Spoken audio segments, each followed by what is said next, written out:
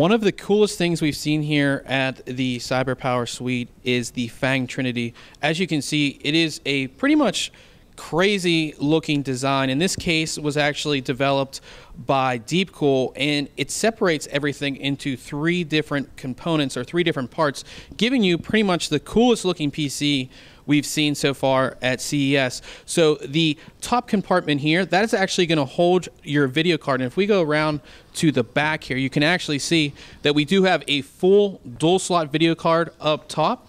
We can see our motherboard down here and we actually have our power supply and some more storage um, on this side. So it's actually kind of like a modular concept, and we're actually going to go inside and show you even more.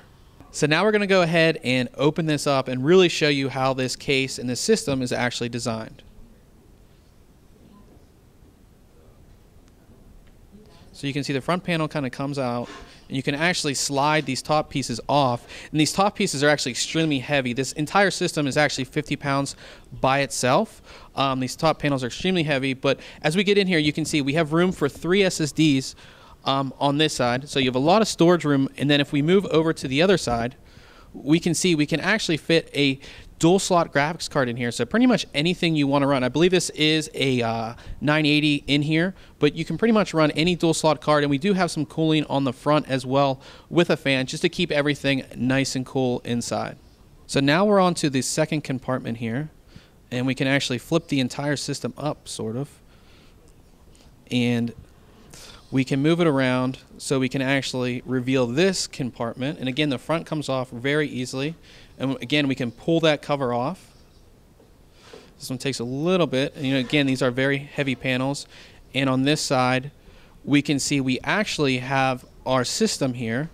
So we actually have water cooling inside. So this is kind of interesting. You know, with this type of case, you would think, oh, we couldn't do water cooling, but we actually have our all-in-one system right there and our motherboard. Again, keeping everything nice and cool, very compact. Um, I think it's just awesome. It looks really great. So now we're moving on to the third one, and this one takes a little bit, or what I've heard, this the third one takes a little bit of, you know, you gotta kind of really push it pretty hard to get it off. Um, as you can see, Eddie's doing here for us because we have the heavier components in this side. So in here, we do have a another hard drive cage and this one looks like we can fit two 3.5 inch hard drives in there. So your mechanical drives you know your all your games and all that kind of stuff your really uh, large files you can fit in here.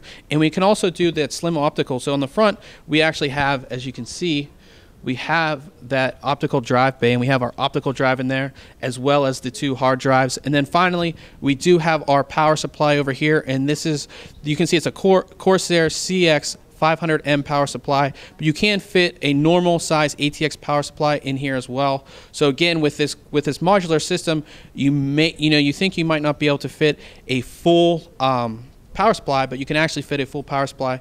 Again, really unique concept, really cool, and it's great that CyberPower is putting together a pretty awesome system in this unique case.